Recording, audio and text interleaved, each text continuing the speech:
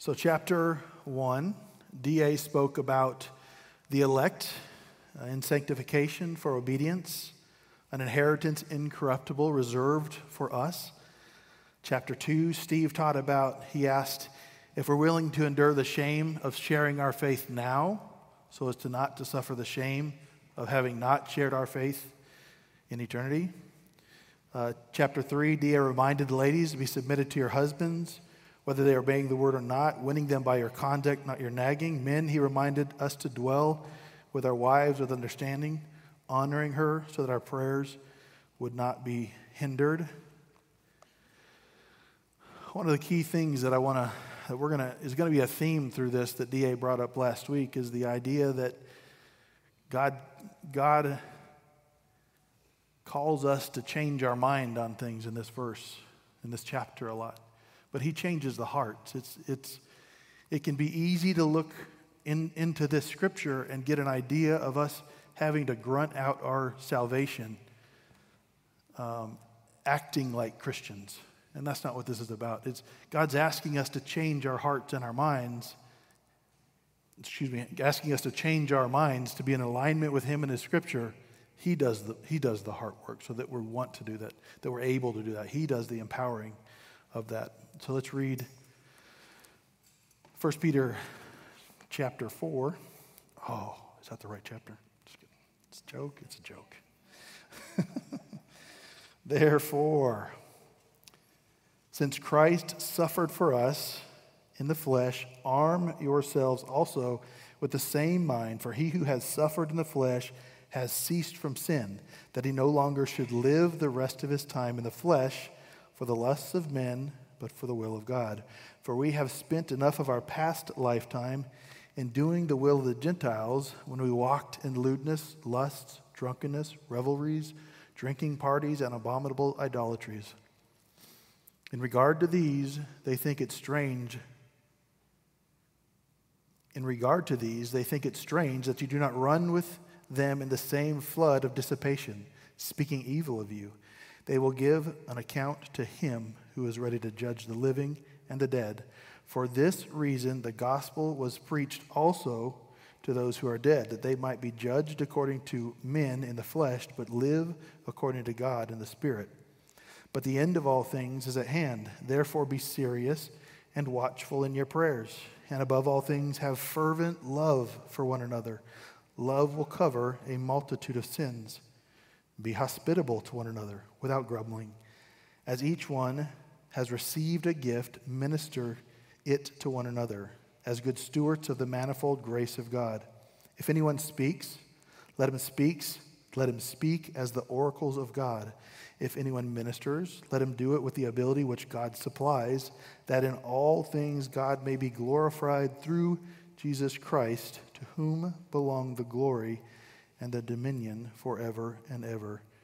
Amen. Beloved, do not think it strange concerning the fiery trial which is to try you, as though some strange thing happened to you, but rejoice to the extent that you partake of Christ's suffering, that when his glory is revealed, you may also be glad with exceeding joy. If you are reproached for the name of Christ, blessed are you, for the Spirit of glory and of God rests upon you. On their part, he is blasphemed, but on your part, he is glorified. But let none of you suffer as a murderer, a thief, an evildoer, or as a busybody in, any, in other people's matters.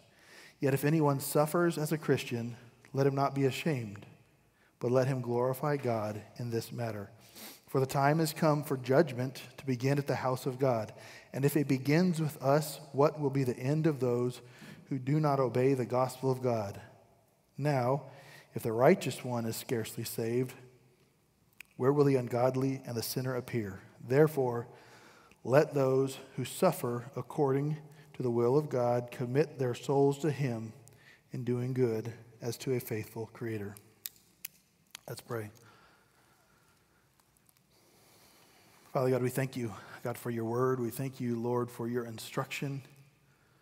Uh, I pray, God, for each of us in here, Lord, that you would, you would teach us, Lord, that you would illuminate your scriptures to us, God, that we would be changed, that we would not take these and, and use them as, a, as any type of sword or weapon towards others, but God, that we would use them, God, to, uh, to grow in you and, and be strengthened in you.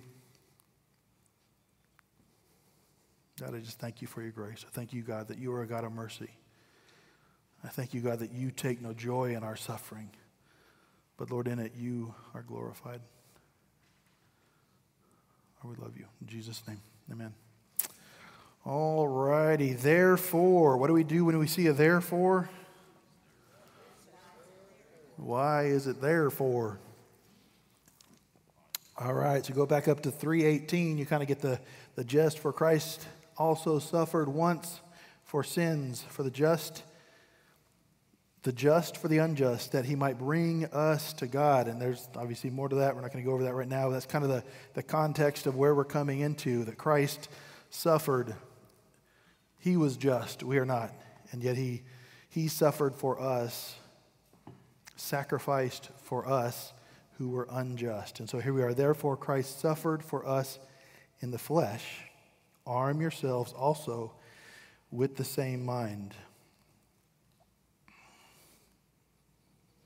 For he has suffered in, he who has suffered in the flesh has ceased from sin. In 1 Peter chapter 1, we have this concept of gird your mind, right?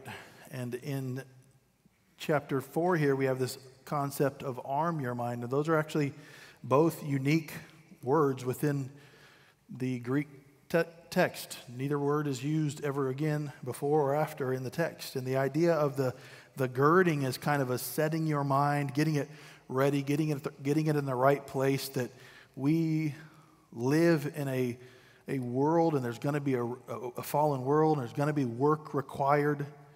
It's not just easy peasy living. We're not, we're not, we're not living life and we're, we're, we're going against the flow. When, when we as believers, when you put your faith in Christ, we're no longer going the same direction as this world. There's going, just like you step into a river, there's going to be some, there's some pushback. Even if there's not any specific direct attack on you, there's just going to be kind of a resistance to doing anything good because we're going a different direction. We are doing a different thing than the world is doing. And so that's kind of the idea of gird up your, the loins of your mind, is trying to get your mind right on that matter. And then we get here to arm your mind, arm yourself also with the same mind. And the idea of that is, is that you are you're going from a more of a passive getting your mind ready to an action an intention. I'm now going into battle. And the, the best analogy I can kind of come up with this for myself in my own life that, I, that I've kind of uh, dealt with is that, is that um, when I was in the military, I want to be careful here, I'm not painting some picture. I was a computer programmer.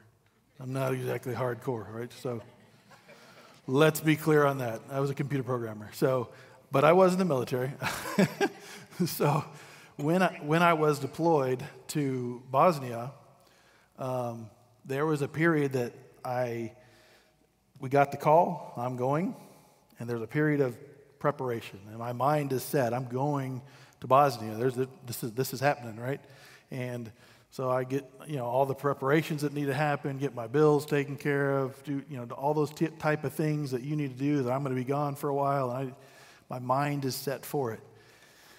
That preparation continued to happen on the plane over, on landing, on you know, we get there for the first time and uh, to the to the base where I'm staying, and all that is kind of a mental, inactive, passive preparation, right? I'm going into a, a dangerous place in my mind as a 21 year old. I thought it was dangerous, but you know, I'm, I'm going there. I'm not going there into battle. I'm going there to change hard drives and stuff like that. So, how dangerous is it? But anyway, as a 21 year old, it was a big deal. So um, I'm going there, and it's not until we're leaving the base for the first time in an armored Humvee, strapped down with weapons, heading to another base to swap a hard drive, but heading to another, another base, that it becomes really real at that point, and it becomes an intentional. The the kind of foggy thinking of, yeah, there's a, we're in a war here, all of, a, all of a sudden became very crystal clear. Oh, I'm walking out into it, right? I mean, here, we're, stra- we're strapped and ready to go. Now, again, I don't want to paint a picture that's not, not there. That was about the first three times until I figured out that it's really not much going on there. And so it, it, it became a, an obvious thing of um, there's not a lot of danger here. So that alert level kind of dropped. And that, that, that's kind of a warning to us in, our, in, in, the, in where we live right now in the West, where things are so easy, is that that, that wartime mentality where you are ready and you're, you're on high alert against spiritual attacks, eh, it's not so bad around here. We're not under persecution. We're not suffering. It's, it's easy to slip into the, the, the lazy Christian, the not really pouring ourselves out spiritually, not really actively serving the Lord. It's easy to fall into that when we're not suffering per, persecution. And that's, that's a, a something we'll, a theme we'll kind of see through here is that, is that suffering clarifies, suffering purifies us. It takes it, the, the, the things that we fall into, the things that we're tempted by, all of a sudden fall away when, we're, when we are starting to suffer.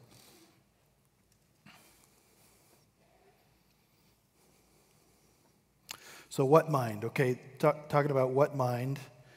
Um, Therefore, since Christ suffered for us in the flesh, arm yourselves also with the same mind. For he who has suffered in the flesh has also ceased from sin. So, what mind are we talking about? Ready to suffer in the flesh for the sake of others, to cease from sin, no longer living for your lusts, to live for the will of God.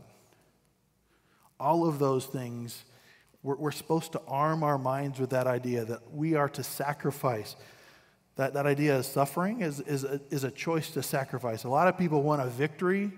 They want things to go well for them. They want, you know, whether it's in work life, whether it's, you know, hitting the gym, you know, they, they have this idea, I want to get fit and in shape, but they hit snooze constantly. I'm, right? They don't actually get up and go to the gym. They just want to be in shape. They want, they want the victory without the sacrifice, right? And so that's, that's a reality. That's obviously a reality I deal with is that is we can easily decide, man, I've, I've got my mind set on what I want, but I don't have my mind set on the action of choosing to sacrifice what needs to be sacrificed in order to achieve what I want, what I think I want, what I think God wants me to do. So, Christians, I, encourage you uh, to recognize that you're in a, in a battle. Like I was talking about, it's very easy to, to be in the mindset here in the West of not recognizing that we're in a battle. We are in a battle. There are people in your families around you that are being lost in this spiritual battle. There's casualties of this war. And we need to be recognizing that we're in this battle and so that we have the right mind so that we can be fighting for those around us. This idea of for the sake of others. We sacrifice, we're saved right? We put our faith in Christ. We're saved, but we sacrifice so that others can be saved, so that we can share the gospel with others, so that others might find out. And that, and that becomes right now, like Steve was talking about, that's just kind of a shame thing right now. It's, we just feel a little bit of shame. In places like China, in places like North Korea, that's a real sacrifice. You could die for sharing your faith. And that's, that's a real thing. And so it's a, it's a choice. I, I want this person, God has put this person on my heart to share that gospel with, to share the message of, of grace with. And it's, it may take something from me. It could even end up in my life being gone. Matthew 16, 24, Jesus said to his disciples, If anyone desires to come after, after me, let him deny himself and take up his cross and follow me sacrificial. Matthew 5 29 through 30. If your right eye causes you to sin, pluck it out and cast it from you, for it is more profitable for you that one of your members perish than for your whole body to be cast into hell. And if your right hand causes you to sin, cut it off and cast it from you, for it is more profitable for you that one of your members perish than your whole body be cast into hell. What are those things The, the idea is not necessarily plucking out your eye, that's kind of hyperbole. Though it's true. Would you rather have one eye than go, go to hell? But the idea is what are those things that are in your life, that are in my life, that are holding me back from fully walking out Christ? Is it the phone? It's certainly a problem in my life. This, that phone can be a time waster, it can be an attention grabber of the things. I wake up in the morning, Lord, I want to do these things for you. Hmm. That's, a, that's a reality, and I'm probably not the only one that, that loses portions of my life to that stupid device. And we need to be careful. Are we, what are we going to do? Are we going to set it aside? Are we going to set it aside? And I'm, I'm just being frank with you guys. There's, there are times I set it aside, and then I walk back over there and I pick it back up. Oh, I'm not, you, not bringing this to bed this time. Walk back over there, pick it up, just checking it, right? So it's, it is a, just being transparent with you guys. It's, it's not, I don't have this struggle sorted out. And that's just one example. There's many other examples of things that we waste our time and effort and energy and attention on that we ought not do.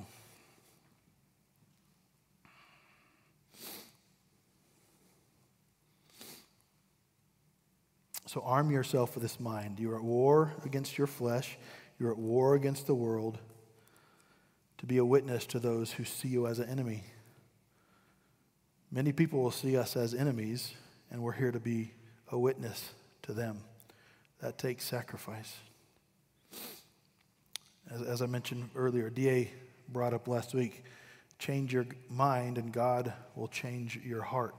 I'm going to encourage you guys to embrace the battle. Embrace the battle. Go to verse 2 that he no longer should live the rest of his time in the, in the flesh for the lusts of men, but for the will of God.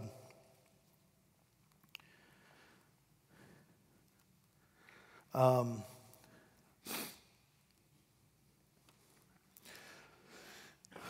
so I'm going to bring I'm to embarrass Steve probably here. Um, so Steve is very disciplined, and I'm sure he's got areas in his life he knows he knows or not, but, I, but he, to me, is like, you know, somebody I look up to, right? And so um, he makes these choices from a, from a physical, from a spiritual perspective. He chooses those things, and I see that he, at his age, is very physically fit, right?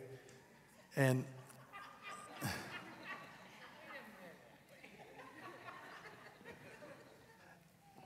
But that's a, that's, a, that's a sacrificial choice that he makes with the eating that he does, with the working out this. And I'm not exalting Steve. What I'm, what I'm, and I, like I said, Steve's got his own stuff, I'm sure. He, he knows in his heart his stuff, right? I'm, I am strong in some areas. There's other areas that I'm not strong in, right?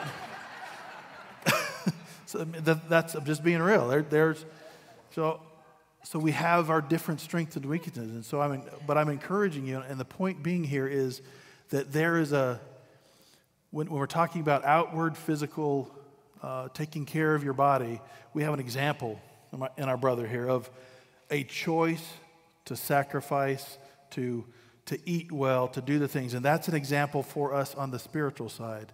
It, it takes a daily choice. It takes a daily sacrifice and to actually walking through that choice, not just, I'm going to do this tomorrow. I don't know how many first days I've had of diets, right? I'm going to do this tomorrow. No, man, we got to just that one day, that one day, that one day, and making that choice each day. And it's, it's important on a physical level. I'm not saying the Bible says, you know, there, there is some importance to taking care of your body, but it's not nearly as important on, on the spiritual side. Do we, are we doing that daily, that daily choice to chase after our Father, or that daily choice to spend some time with Him? He's not, we don't really have to chase, He's there. We have to run away from the stuff that keeps us from going, right? That's really what we need to do. That went totally off my notes. Um,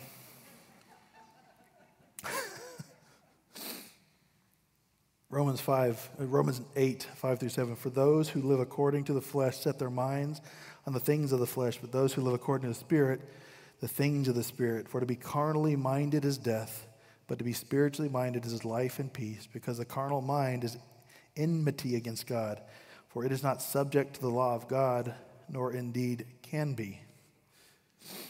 So I'm again, I want to be very clear here. I'm not talking about grunting out the Christian walk in your flesh. Romans 8 8. So then, those who are in the flesh cannot please God. It doesn't matter what our external appearance looks like if people think we look Christiany. Like we got it, we were putting together this good picture for, for people to see. That doesn't, that doesn't matter. That doesn't matter. It matters that we're, we're, we're authentically uh, pouring out our lives for Christ. We're, we're, uh, we're open and, and and uh, vulnerable to the King, that he's, that he's able to have that relationship with us. We're able to know Him. That's what matters. It doesn't matter the, the external appearance. So I don't, so the spiritual denial, the spiritual sacrifice, again, is not a thing in the flesh. It's, a, it's a, an opportunity to sacrifice for our King, that we can have that connection with Him, that we can grow in that relationship with Him, that, we, that He then gives us the strength. We set our mind to, I'm going to do this thing. God, help me do this thing. I'm going to do this thing. God, help me do this thing.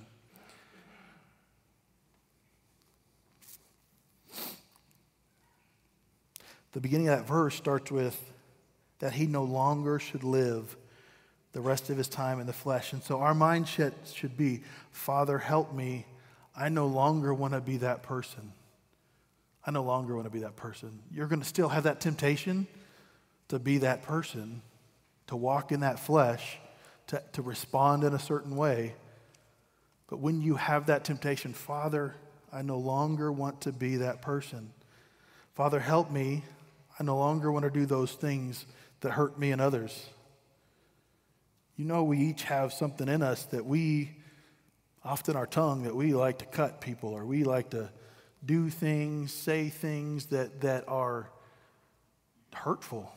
They damage our relationships, so they wind up hurting us, but they also damage those that we love because we're, we're saying mean things, we're doing mean things. Father, help me. I no longer want to do those things that hurt me and others. And Father, help me. I no longer want to serve my will.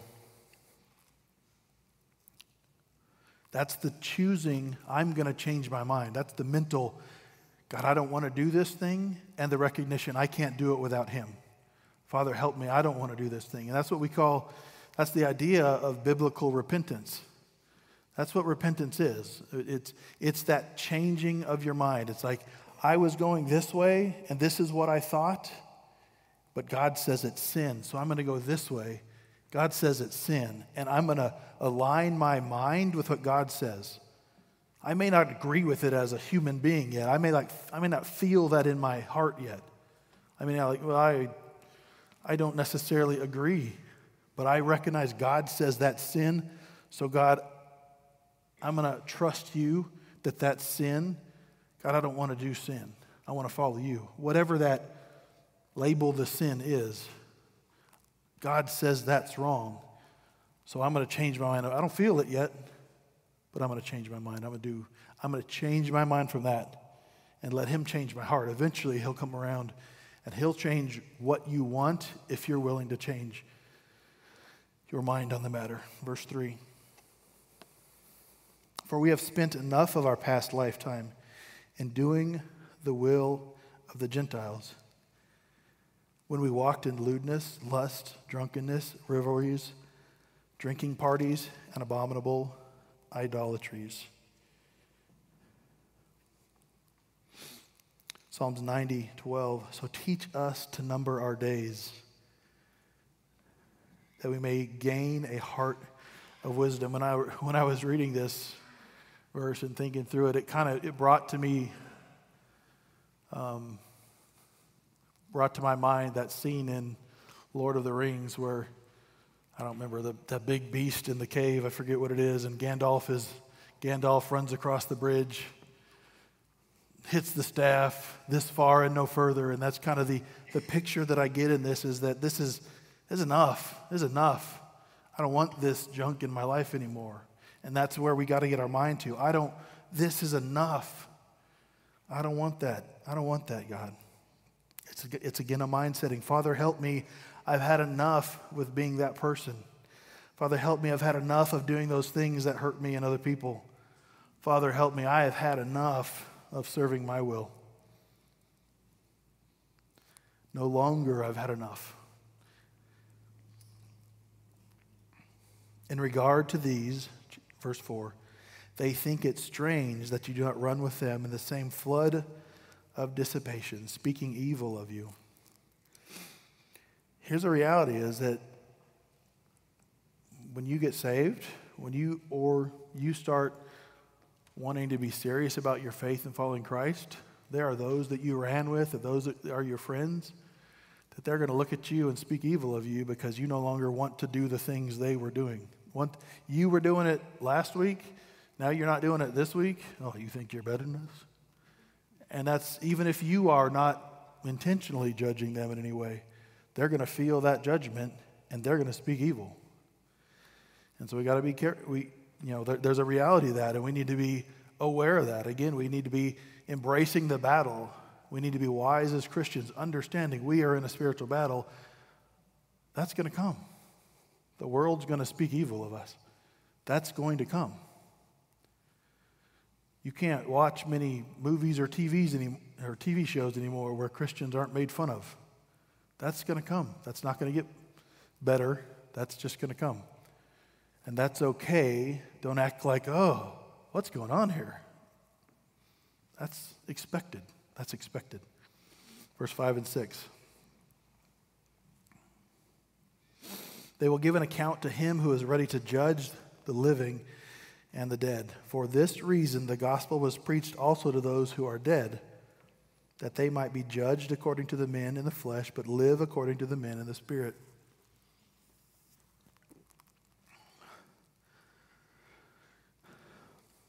This is why talks about they will give an account. So your friend, these, these people that judge you will give an account for that. That judge us will give an account for that.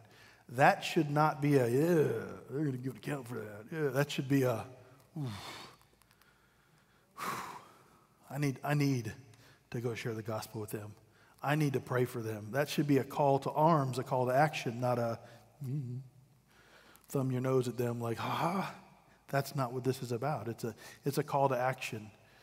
And that's, that's the, you know, my mom, it, I go eat with my parents on, uh, on Fridays, and we sometimes are in there solving all the world's problems in politics. Not at all. And that's, you know, my, my mom has, you know, really been, the Lord has worked on her, and she's frustrated with what's going on in D.C., and it's like, no. God said he, he loves them, right? And that's a, that's a huge thing. God, God, our heart should be, we love them.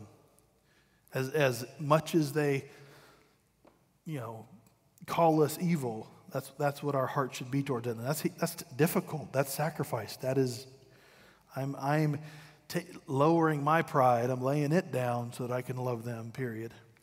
And then we get to six there. So, for this reason, the gospel is preached also to those who were dead. Remember, we were dead once.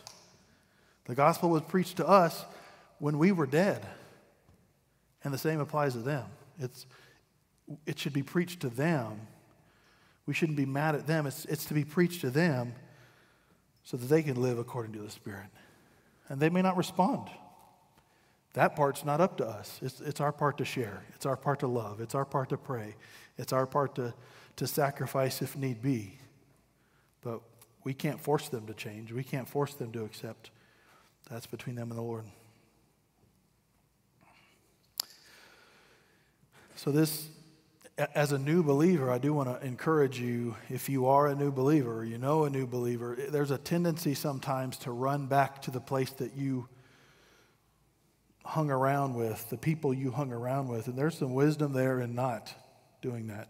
You should pray for them, you should love them, you should invite them out of that whatever mess they may be into for coffee or whatever. but you shouldn't put yourself back into that tempting situation, probably for a long time, if ever. It's, it's a, it's a, you know, you, you, we wind up, there are many Christians who wind up stumbling themselves again by running back to that situation to share the gospel. And they may, there may be a heart of, I want to share the gospel there. And you should, but figure out a way to do it outside of a scenario that, that brings temptation to you.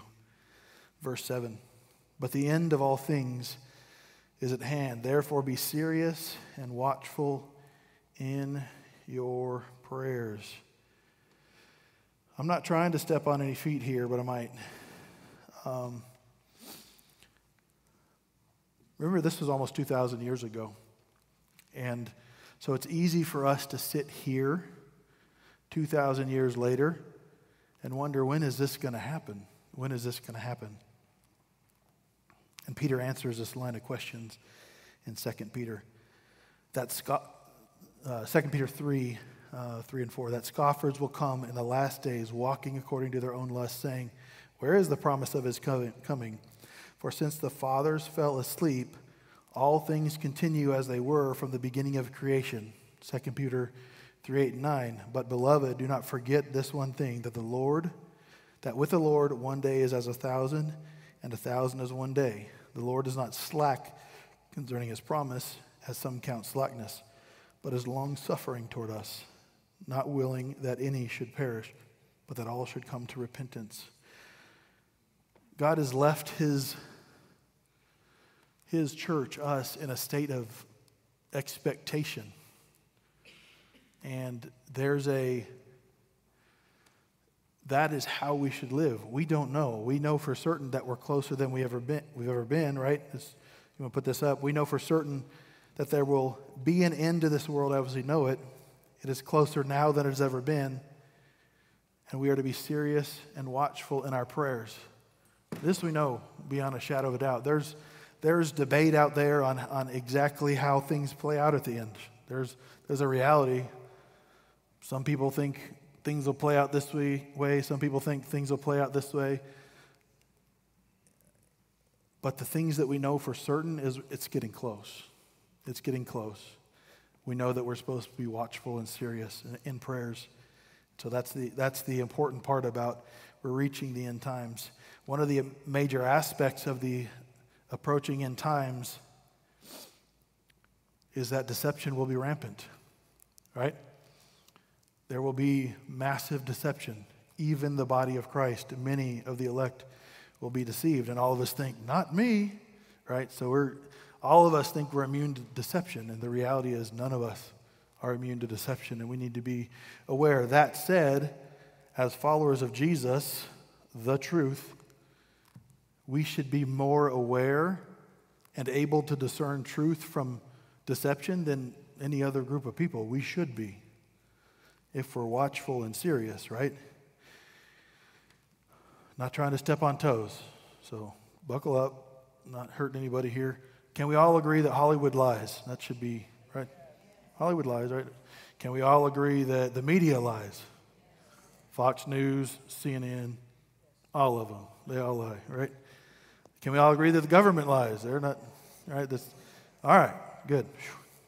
So we can at least start there. Now we're going to get to my life verse Jeremiah 17 9.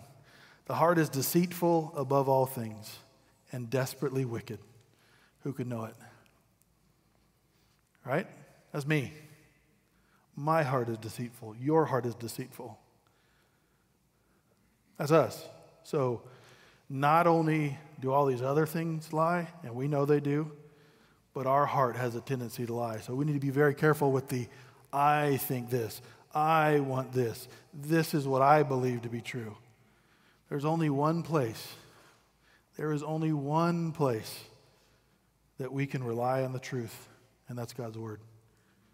Not what we think, not what so and so teacher thinks, not what Joel thinks, not what anybody thinks. And there's, there's people that we can learn to trust that they'll tell the truth, right? There's, but that doesn't mean they've told the truth. We can trust that they, ha- they have told what they believe to be the truth, right? And there are people in my life, Denny, I know he's going to tell me what he believes to be the truth, no matter what. Right? That's good. That doesn't mean it is the truth, and I'm not calling him out here. I'm just saying, but you under, understand what I mean. There, there's people we can learn to trust that they are telling you what they believe is the truth. But that, again, doesn't necessarily mean it is the truth because their heart could be deceived and they could believe it 100%. That goes for me and everybody. All right, so if somebody, that said, if somebody has a history of lying to you, would you then believe what they have to say? Would you, over and over and over and over, they've lied to us, they've lied to me. Would you then, next time they say something else, totally, totally believe you? I'm on board. No.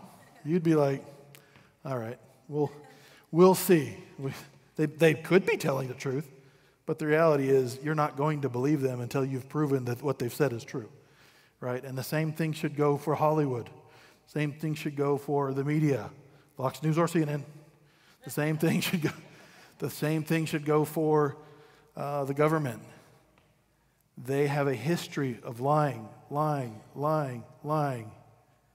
When they spread a narrative, when they're running with something as truth, that should throw up a flag to us like, I don't know what's wrong in that, but there's probably something wrong in that right? That, that should absolutely throw up that flag.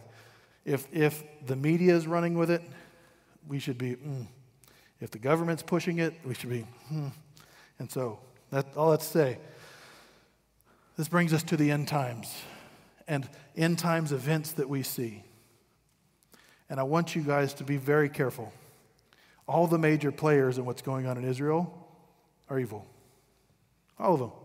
The United States government's evil. The state of Israel is evil. Hamas is evil. Not one of them are good. So we need to be very careful as believers to hook our ship onto, you know, in our tendency, it's we're hooking our ship onto Israel. Oh, let's go kill all those people. No, no. We need to be very careful with that type of good and bad, good and bad. They're good, they're bad. No, the reality is all of them are evil. And we need to look up and we need to look in God's Word for what's true. We need to pray, we need to seek, and the people that we need to be praying for are the Jewish and Palestinian Christians. We should pray for the peace of Jerusalem, but we need to, our heart should primarily be for the Jewish and Palestinian Christians. And then the other Jews and the other Palestinians that are caught in this mess between rich, powerful people, that has nothing to do with them. They have no control of it. They're just caught in the mess.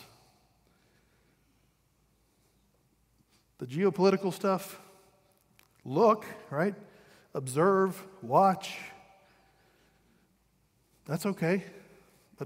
Be careful jumping into the fray of, I'm on this side, I'm on this side. No, there's innocent people dying in the middle on both sides who have nothing to do with any of it. And they need Jesus, right? So that's my heart encouragement to you we need to be careful not to get caught up in the rhetoric, right? We need to be sober and buried in God's word, serious in prayer, watchful. The only thing we can trust to be true in this world is God's word. The only thing we can trust to be true in this world is God's word.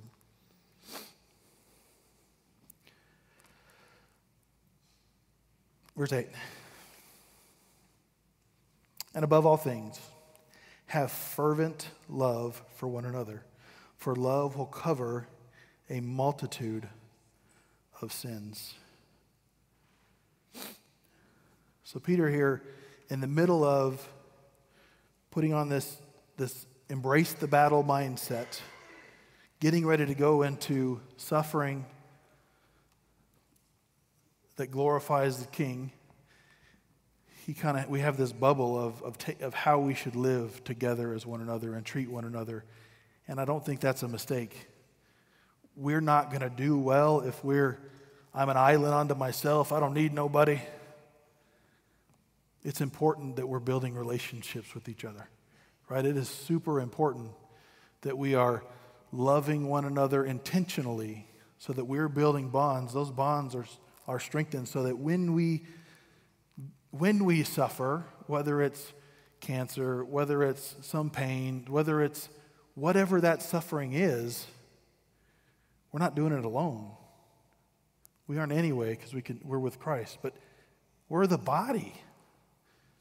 We're his hands and feet. We can't do this alone. We need to have those bonds built. And so I'm encouraging you guys make, if you're not in a home fellowship group, you should be in one. We can't do much of what we're about to talk, talk about if all we're doing is showing up on a Sunday morning. Hi, bye, good to see you. That's hard. It's hard to walk together and build those bonds that are strong and ready for suffering if all we ever see is each other on a Sunday morning. We've got to spend time with each other. We've got to iron sharpening iron. Man, that guy annoys me. That's probably something in you that needs to change. right? Not, not that he doesn't have something to change, the truth of the matter is, is that annoyance you're feeling is something you need to sit down, needs to be dealt with in you so you can walk in love with him. Right? So, all right.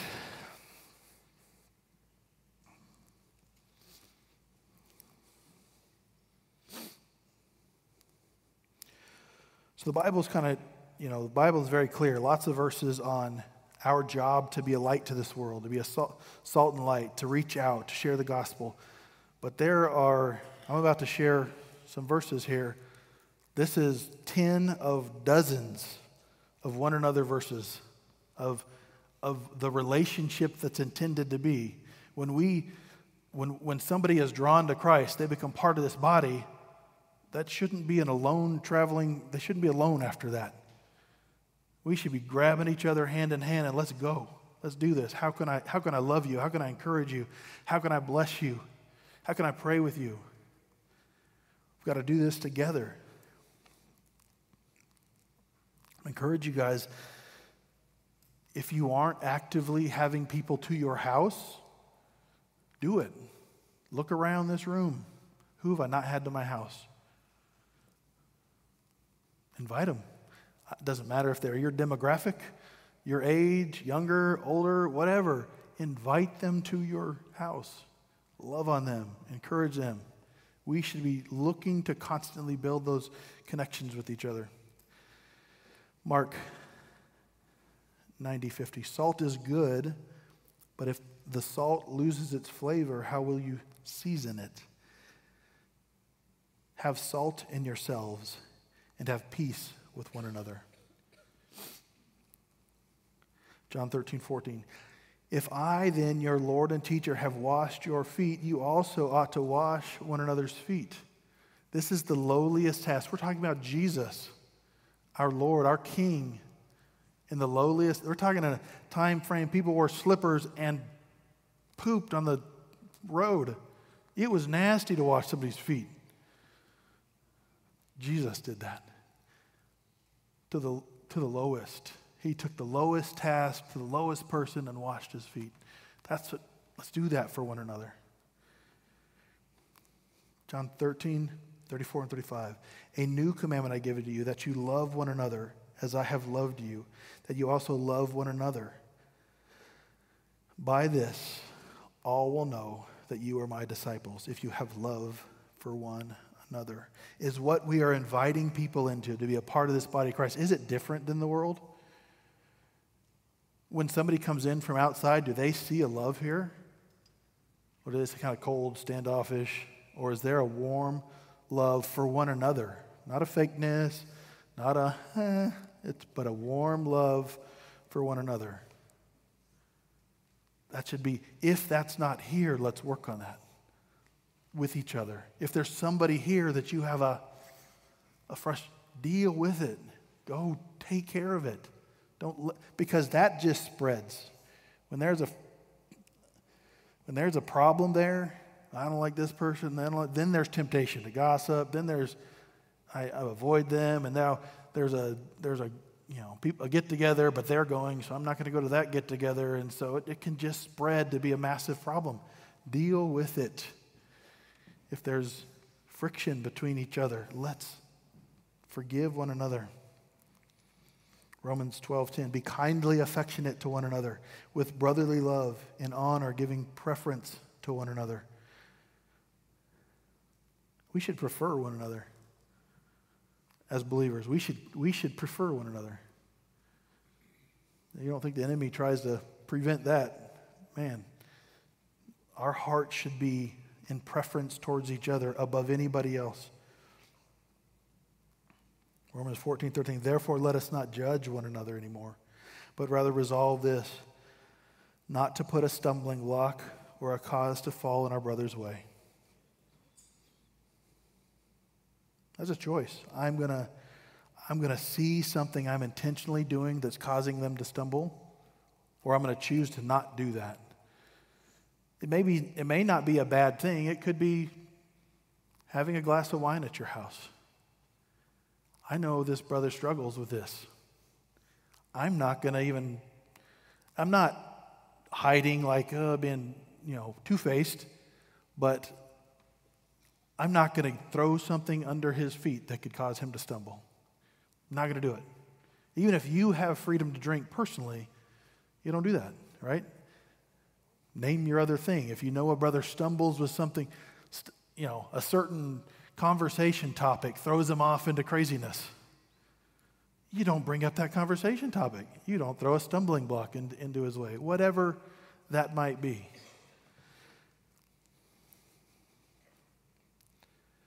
Galatians 5:13 For you brethren have been called li- called to liberty only do not use liberty as an opportunity for the flesh but through love serve one another 1 Thessalonians 4:8 Therefore comfort one another with these words. Galatians 6:2 Bear one another's burdens and so fulfill the law of Christ. 1 Thessalonians 5:11 Therefore comfort each other and edify one another which means to build up, just as you are doing. Colossians 3:13 bearing with one another and forgiving one another. If anyone has a complaint against a brother even as Christ forgave you in that still we were sinners and Christ died for us right even as Christ forgave you so you also must die must do, excuse me. Do. Hey, could be.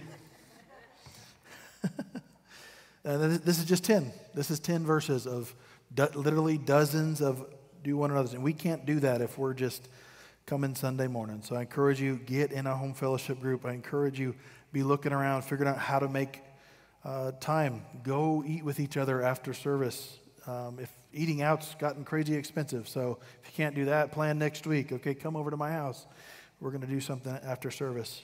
I encourage you guys, let's all do this together.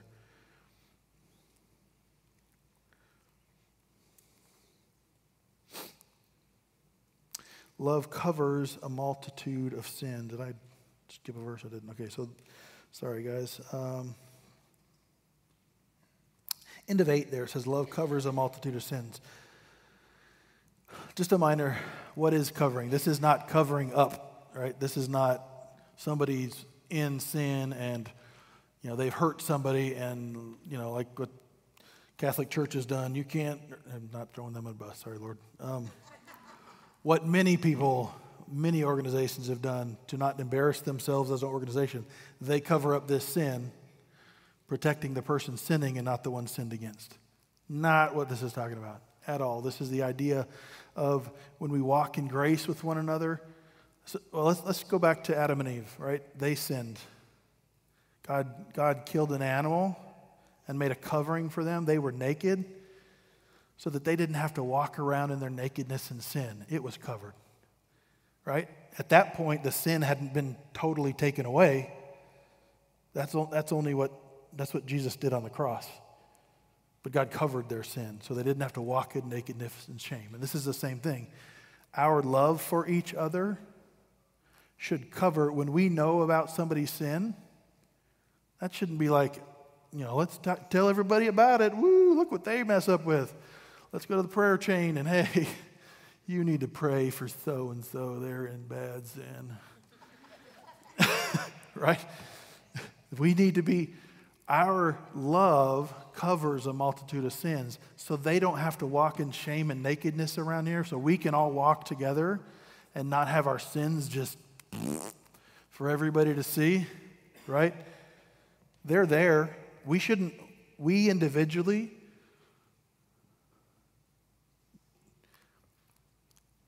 you should be careful. Uh, let me put it this way. We should confess our sins to somebody. Somebody. Somebody should know the sins that you're struggling with. But that's not necessarily whoop, right? Everybody, hey, and post on Facebook, I did this thing, right? So that's not, that's not, somebody should know your sin. But if you know somebody else's sin, that should be covered. You understand what I'm saying? You should not be spreading that sin anywhere else. It should be covered. Love covers a multitude of sins.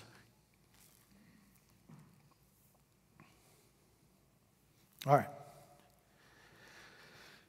Verse 9. Sorry, guys, running out of time here. Verse 9. Um, be hospitable to one another without grumbling. The idea here is, let's like we are talking about, just spend time with each other. Be open to having people over and just be okay with it. Just be okay with it. Yeah, your house is going to be a mess sometimes. Yeah, you're going to move the laundry pile into here, and the next day you're going to move the laundry pile back to there. That doesn't happen at our house, but at your house, that might happen. I'm getting, a, I'm getting the stink eye from Orna right now.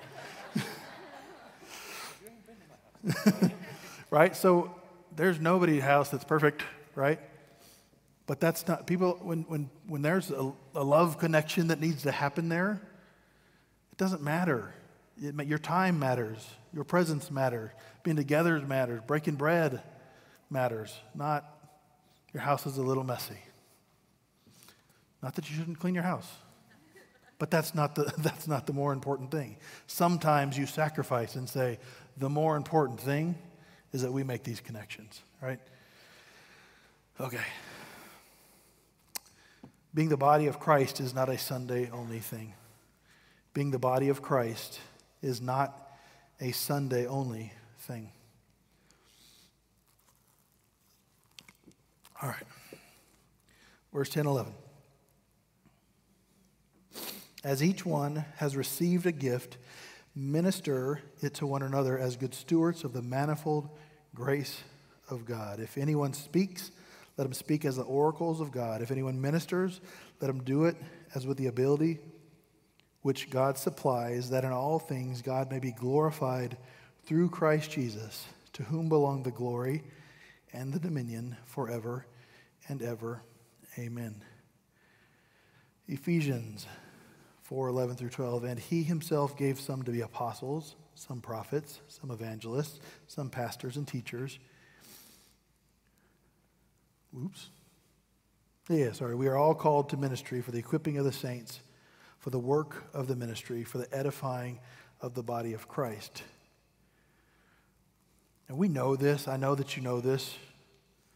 We're all called to ministry here, though. The pastors and elders, they're not, they're not the ones called to ministry. We're all called to ministry here.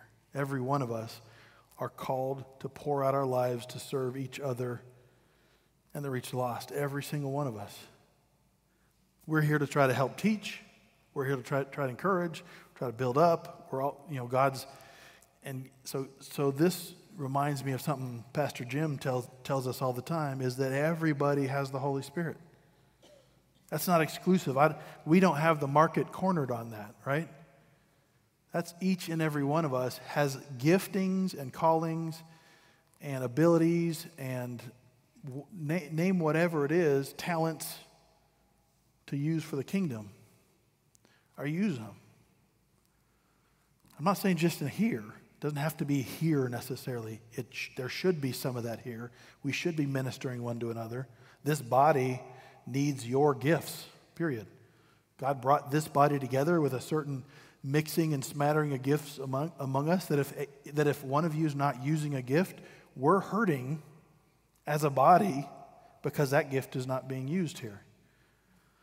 But you can use your, your gifts in many places with many other believers, with many those that aren't. But we're all called to this ministry. 1 Corinthians 10:31. Therefore, whether you eat or drink or whatever you do, do it all the glory of God. If you are a Christian, you have gifts that are be used to minister to the body for the glory of God. Are you using them? If not, why not? What is stopping you? And that's an honest question. That's not rhetorical. If you're not, why aren't you? There's, I, I can pull out dozens of excuses that would work for me. I don't have time. I got this other thing to do. I'm busy. I got four kids. I've got, there's lots of reasons I can pull out excuses. And I'm not exalting myself. I make lots of excuses.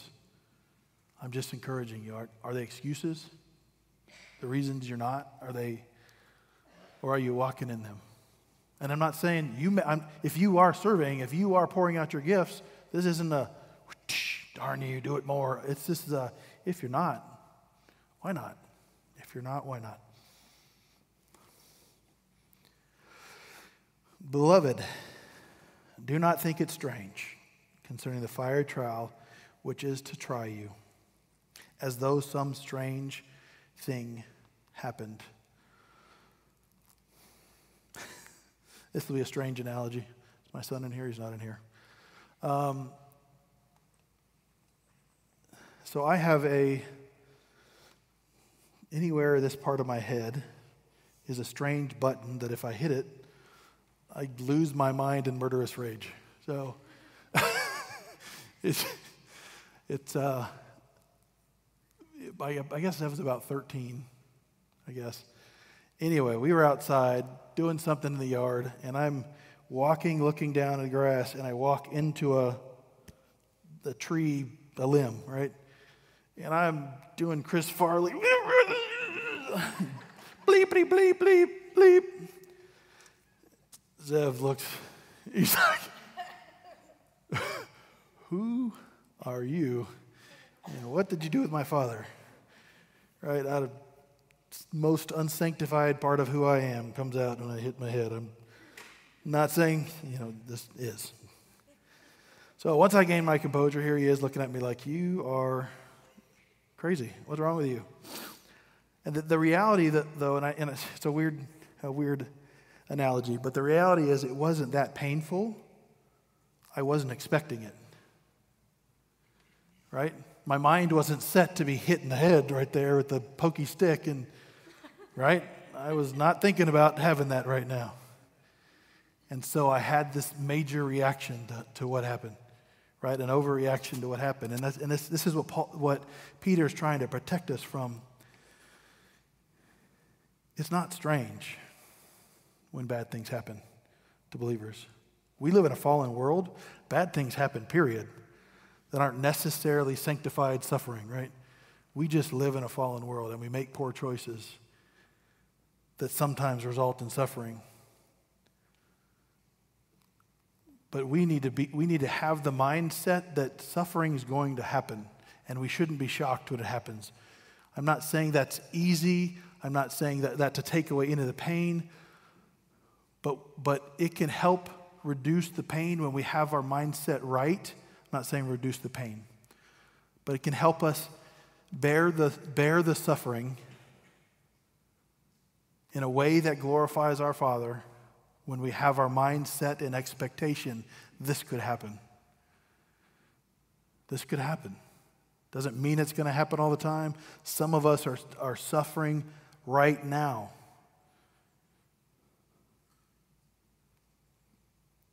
Some of us aren't.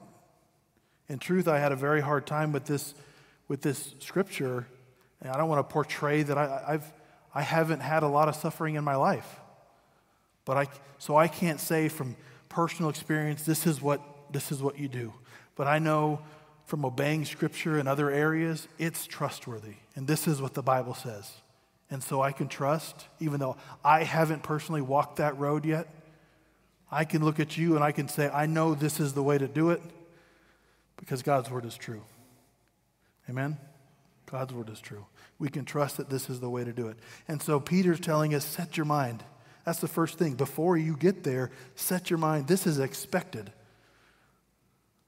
This is expected. Praise the Lord if I have a day that I'm not suffering. If I have a week, if I have a year that I didn't suffer, praise God. But it's expected. Ephesians 6, and I'm not going to read it, I'm not going to go through that, gives us that preparation, what, what the things we need to do to, to prepare our body and our minds spiritually, right? Verse 13. But rejoice to the extent that you partake of Christ's suffering, that when, he, when his glory is revealed, you may also be glad with exceeding joy. Take joy, but rejoice. His glory is revealed when we stand strong in Him through fiery trials. If you are reproached for the name of Christ, blessed are you, for the Spirit of glory and of God rests upon you. On their part, He is blasphemed, but on your part, He is glorified. The same event, the same happening, God is glorified and God is blasphemed. There's a key, a, an important thing I'm going to point out here is that what, what matters for God's glorification in our life is not the event, it's our response to it. Not, not, right? It's how do we respond in that event. Okay, and I'm going to go back to last week a little bit to kind of take, take away from last week. So, give you a kind of example of how we should live in this. If we all, because if you're married, there's battles there, right? There's struggle there. It's not the same as suffering, but this is just to kind of give you a, can be the same as suffering, but this, this is not in my life. Whew, that was close. I'm off the couch. Um, but um, lost my train of thought. Oh, yeah, why? So it's not the same as suffering, but it'll give you a picture of what I'm talking about here. So, so wives, likewise, be submissive to your husbands. And the men think, yeah, go make me a sandwich, right?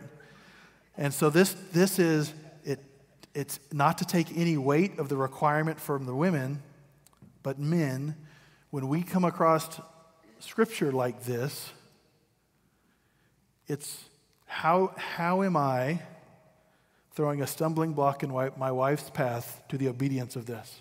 Am I throwing a stumbling block? Am I making it hard for her to submit to me because I'm a jerk, because I'm not a very good leader, because, and that doesn't take away, he says submit. That doesn't take that away. But what are you doing, men, that's making that difficult?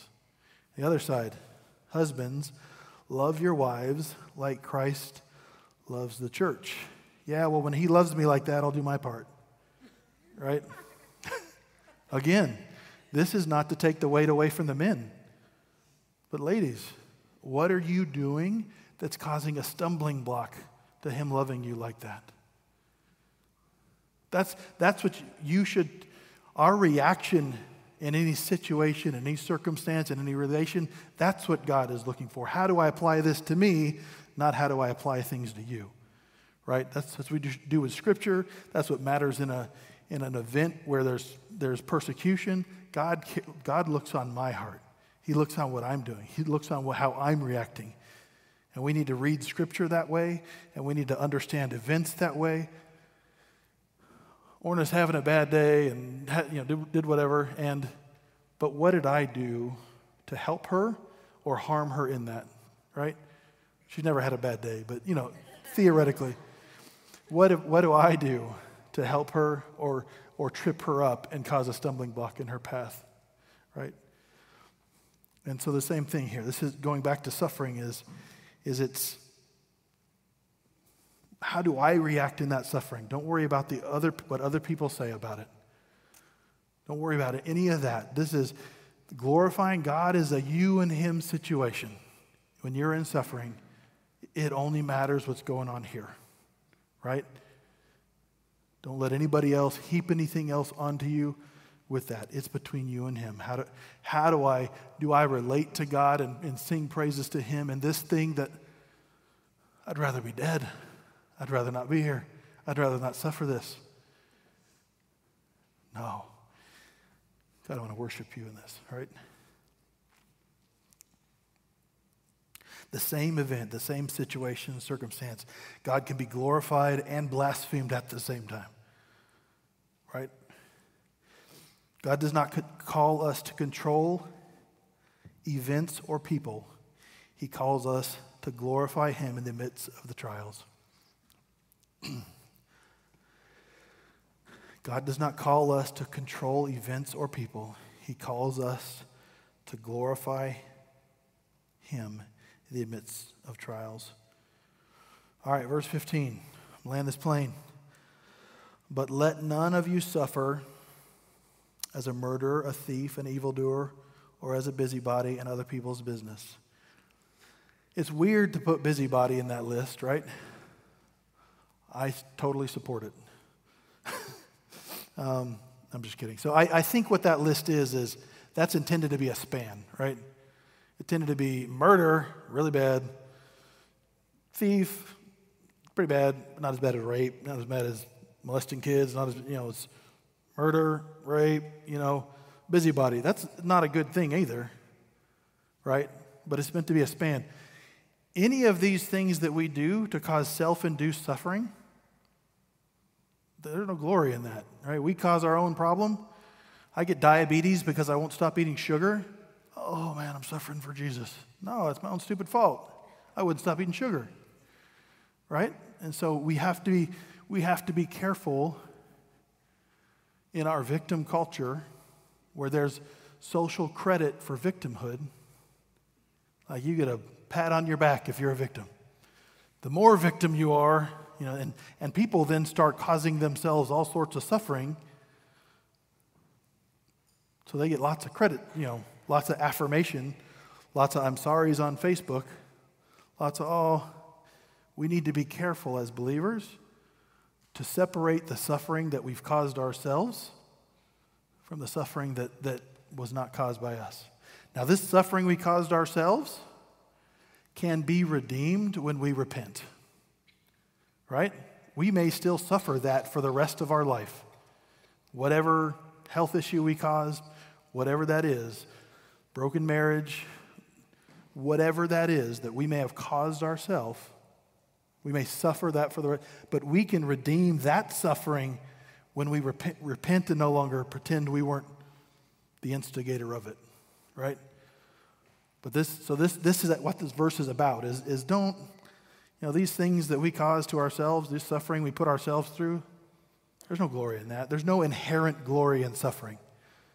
That God, God doesn't want us to suffer. He doesn't enjoy our pain. There's no inherent goodness to suffering. It's only what we do in the suffering that matters.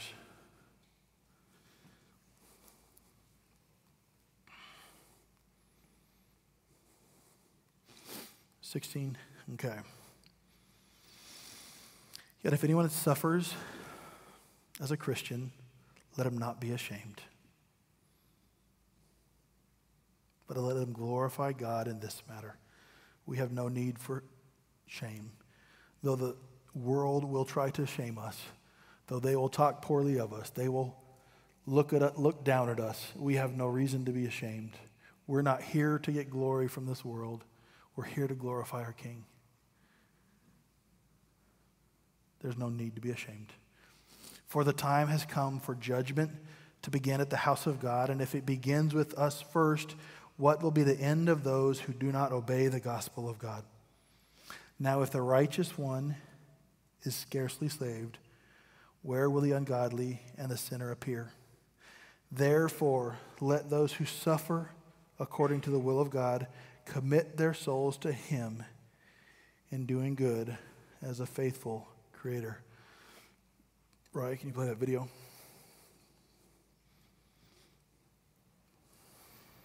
When we suffer in this lifetime, we need to keep a few things in perspective. Number one, Romans 8:28. God works all things together for good for those who love him and for those who are called according to his purpose. God works all things, even the worst things, together for good for his people. We need to keep that in focus. And if we're unable to see that, if we're so struggling with our difficulties that we, we can't possibly see or think or imagine the good that can come from it, then we need to keep this in perspective. That the sufferings of this present time are not worthy to be compared with the glory we shall see. As difficult as it gets in this lifetime, we have the promise and the hope of eternal life with Christ. And the worst horrors that we can imagine in this life are not even worthy to be compared with how wonderful it will be to be with Christ. Not worthy to be compared. And we cling to these things, and I'm clinging to these things right now that God is going to work good in this lifetime. And that these things someday shall pass, and they won't even be worthy of mentioning. In light of seeing Jesus, I believe it. And then we bring those things together with this truth the promise of a new heaven and a new earth. That time where Christ Himself will set right every wrong. And He'll be with us in the boat of pain in the storm. As it says in Revelation 21, and I heard a loud voice from the throne saying, Behold, the tabernacle of God is among men, and he will dwell among them, and they shall be his people, and God himself will be among them. And he will wipe away every tear from their eyes, and there will no longer be any death. There will no longer be any mourning or crying or pain, for the first things have passed away that day is coming. You see, the, God has never promised us that we won't suffer in this lifetime. In fact, He's made it explicit in the Word of God that we will suffer in this lifetime. But there is coming a day in the renewal of all things in the fullness of Christ's presence, where because of his person, because of his presence, there will be no more tears. He himself will wipe them away. No more crying, mourning, pain, no more cancer, no more death.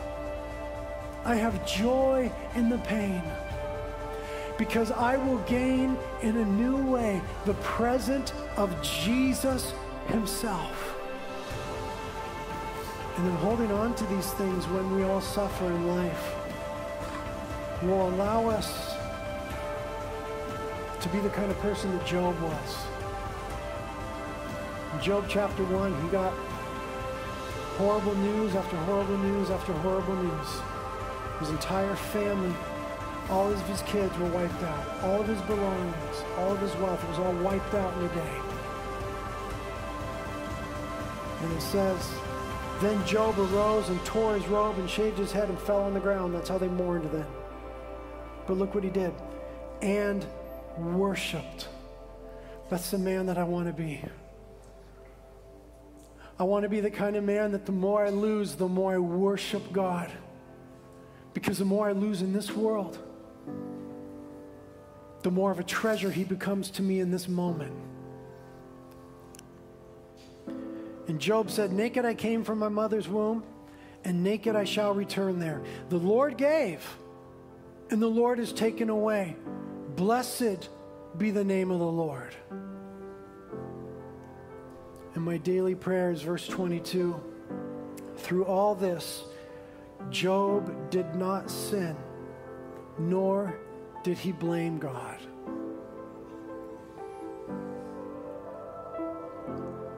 It's the kind of people we need to be in suffering.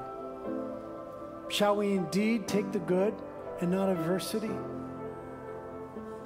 Has God not warned us that in this world we would have difficulty? But take heart, He has overcome the world and there is coming a new day. And I want to tell you, church, that Jesus is more present in our brokenness. The gospel is more real and on greater display when we are broken than at any other time.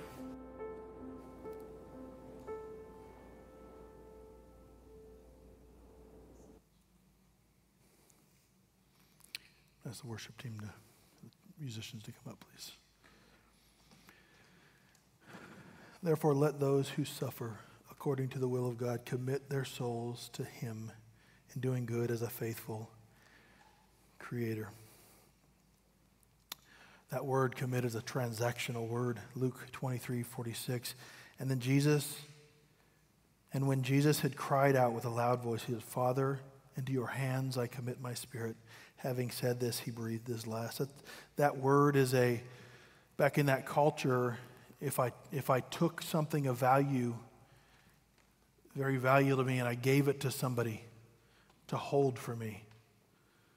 It was on their honor that they would hold that. They, I was trusting them with something valuable to me that they, I was committing that to them. That's the word used there. And I'm expecting to get it back in full. Right? And that's the use. So the, the point being here is that you can commit all of this up unto the Father, right? Uh, who's a faithful creator. Those are suffering. You can commit that suffering that you're going through, and I'm not making any light of it. It's, it's, it's real. I'm sorry you're going through it. And it could be emotional, it could be physical, it could be self induced, but that doesn't mean it's not, not real. And you, you can turn that suffering to be glorifying to God. If you'd repent and just commit all of it to Him. Lord, this, this is difficult to go through. Can you hold my, I'm committing my soul to you. Lord, will you sustain me through this?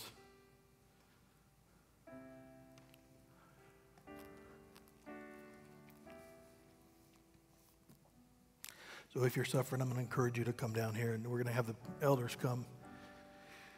We're going to have them pray.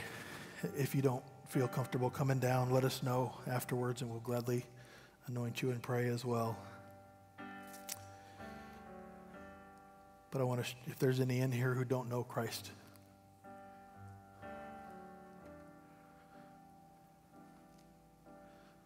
we don't get a promise of posies and unicorns.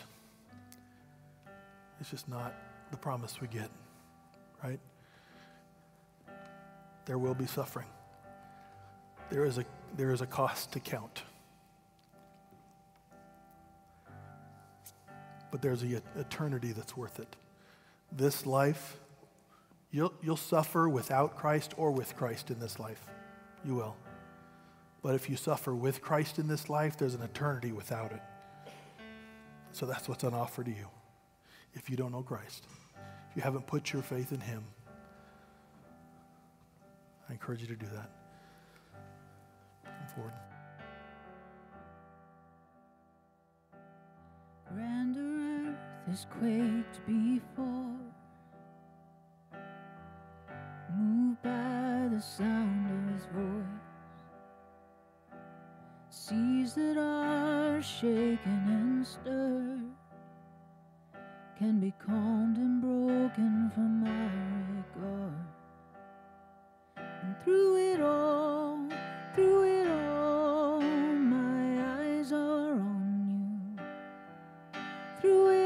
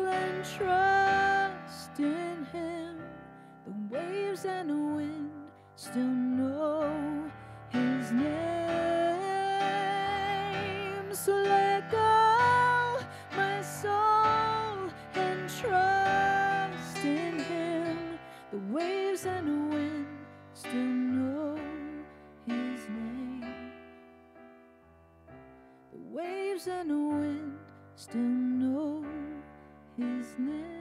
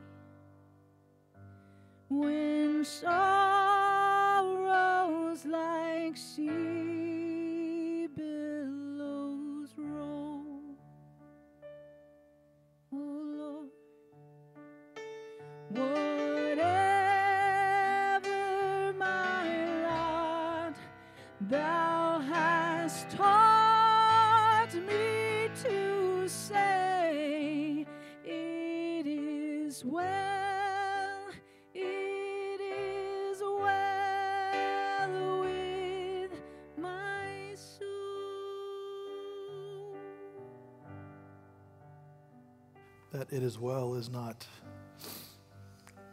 we don't always feel that.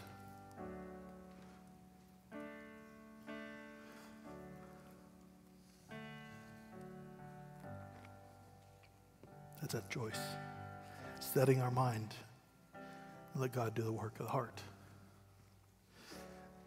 What is wrong with me? Sorry, guys.